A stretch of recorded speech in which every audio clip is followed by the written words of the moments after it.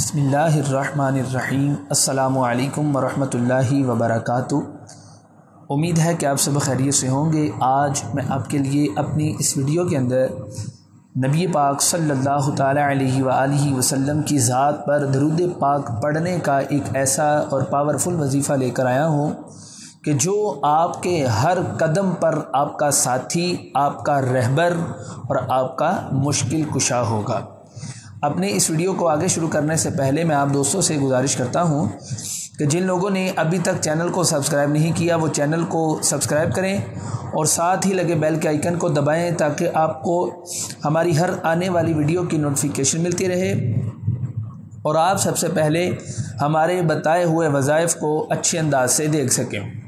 اور اس کے ساتھ ساتھ میرے دوستو، اگر آپ اپنا نام خاص دعاؤں میں شامل کروانا چاہتے ہیں یا پھر آپ کوئی بھی وظیفہ چاہتے ہیں، تو آپ لازمی طور پر ہمیں کمنٹ میں بتائیں۔ انشاءاللہ ہم اس کے متعلق بھی آپ کی ضرور ضرور رہنمائی فرمائیں گے۔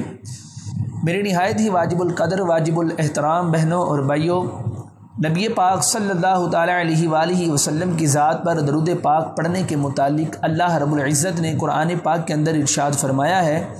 پارہ نمبر بائیس صورت الاحزاب آیت نمبر چھپن ففٹی سے ففٹی سکس میں اللہ رب العزت ارشاد فرماتا ہے ان اللہ و ملائکتہ یصلون علی النبیش یا ایوہ الذین آمنوا علیہ وسلموا تسلیما بے شک اللہ اور اس کے فرشتے نبی پر درود بیجتے ہیں۔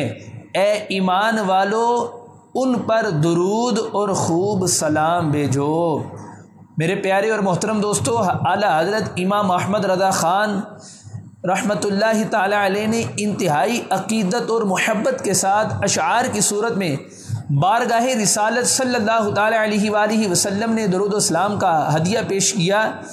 آئیے کچھ ان میں سے میں آپ کو بھی اشعار سناتا ہوں۔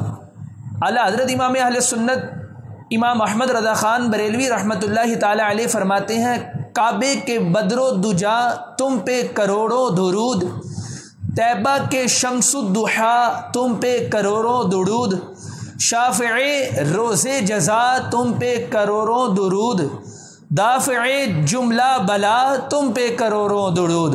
اللہ اکبر۔ میرے پیارے اور محترم دوستو، نبی پاک صلی اللہ تعالیٰ علیہ وآلہ وسلم کی ذات پر درود پاک پڑھنے کے بے شمار فضائل و برکات ہیں۔ حضرت انس رضی اللہ تعالیٰ عنہ فرماتے ہیں، یہ در مختار کے اندر حدیث پاک موجود ہے۔ حضرت انس رضی اللہ تعالیٰ عنہ سے روایت ہے، حضور اقدس صلی اللہ تعالیٰ علیہ وآلہ وسلم نے ارشاد فرمایا جو مجھ پر ایک بار درود بھیجے اور وہ قبول ہو جائے تو اللہ تعالیٰ اس کے اسی برس کے گناہ مٹا دے گا۔ حضرت عبداللہ بن عمر رضی اللہ تعالیٰ عنہما سے روایت ہے کہ جو نبی کریم رعف الرحیم صلی اللہ تعالیٰ علیہ وآلہ وسلم کی ذات پر ایک بار درود بھیجے، تو اللہ تعالیٰ اور اس کے فرشتے اس پر ستر بار درود بھیجتے ہیں۔ مسند امام احمد کی روایت ہے۔ میرے پیارے اور محترم دوستو، درود پاک پڑھنے کی بے شمار جو ہے وہ براکات ہے، بے شمار براکات ہے۔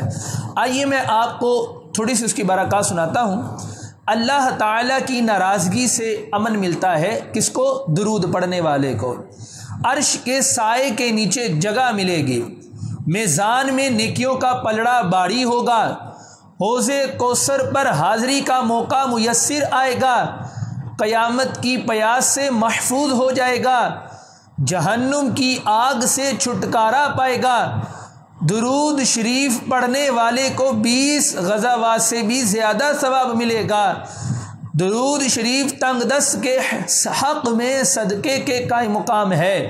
یہ ایک عبادت ہے۔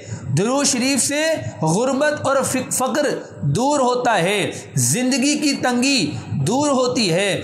درود شریف پڑھنے سے درود پڑھنے والا خود اس کے بیٹے پوتے نفع پائیں گے۔ درود ایک نور ہے۔ اس کے ذریعے دشمنوں پر فتح حاصل ہو جاتی ہے۔ میرے پیارے اور محترم دوستو، درود پاک پڑھنے کی بڑی حکمتیں، بڑی فضیلتیں، بڑی برکتیں ہیں۔ آئیے اب میں آپ کو میرے پیارے اور محترم دوستو، درود پاک نہ پڑھنے کی دو وعیدیں بھی سناتا ہوں۔ یہ سنن ترمدی شریف کی روایت ہے، حضرت ابو حریرہ رضی اللہ تعالیٰ عنہ سے روایت ہے۔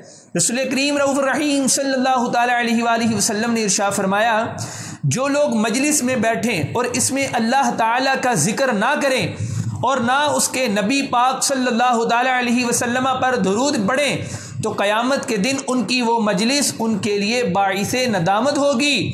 اگر اللہ تعالیٰ چاہے گا تو انہیں عذاب دے گا اور اگر اللہ تعالیٰ چاہے تو انہیں معاف فرما دے گا۔ حضرت جابر رضی اللہ تعالیٰ عنہ سے روایت ہے کہ سید المرسلین صلی اللہ تعالیٰ علیہ وآلہ وسلم نے ارشا فرمایا جس کے پاس میرا ذکر ہو اور اس نے مجھ پر درود پاک نہ پڑھا، وہ بدبخت ہے۔ معجم الاوسط کی روایت ہے۔ آئیے میرے پیارے اور محترم دوستوں میں آپ کو وہ درود ابراہیمی جو پڑھنا ہے، اس کا آپ کو طریقہ کار بتا دیتا ہوں اور اس کے آپ کو برکات بتا دیتا ہوں اور اس کے آپ کو فوائد بتا دیتا ہوں۔ سنیے گا۔ آپ گھر سے کسی کام کے لیے نکلیں تو نکلتے ہی درود ابراہیمی پڑھنا شروع کر دیں۔ اور مسلسل پڑھتے رہیں، انشاءاللہ اللہ تمام رکاوٹیں دور اور کام بن جائے گا۔ مثلا، جاب کی تلاش میں آپ جائیں، گھر سے نکلتے ہوئے درود ابراہیمی کی کثرت شروع کر دیں۔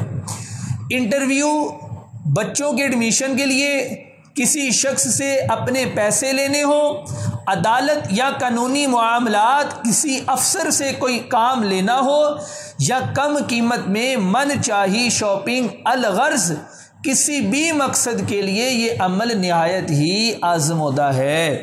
میرے پیارے اور محترم دوستو، آپ لوگ جب بھی کسی بھی پریشانی میں آپ کہیں جا رہے ہوں، تو آپ گھر سے نکلتے وقت درود ابراہیمی کی کثرت شروع کر دیں۔ انشاءاللہ، اللہ اللہ رب العزت درود پاک کی برکت سے آپ کی پریشانیوں کو دور فرمائیں گے۔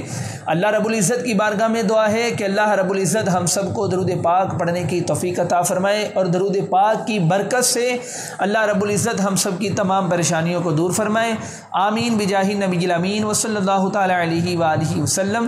السلام علیکم ورحمۃ اللہ وبرکاتہ